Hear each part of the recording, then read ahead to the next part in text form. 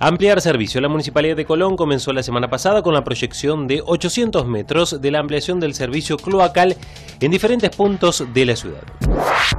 Reclamo salarial en el primer día de la medida de fuerza de los aduaneros en todo el país.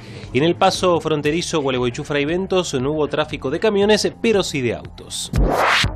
La hija del Che, la hija del Che Guevara, de visita en la ciudad de Concordia, realizó tareas de vacunación y control oftalmológico. Lo hizo acompañada por el intendente Bordet. Nueva planta, comenzaron los trabajos para la nueva planta potabilizadora de Valle María. Este jueves se realizó la perforación para la colocación de los pilotes.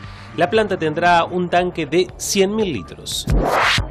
Meningitis, un hombre ingresó al hospital Más Bernat de Concordia con un cuadro de meningitis y tras la realización de la pulsión lumbar se constató que la bacteria no es la común que produce las epidemias de meningitis.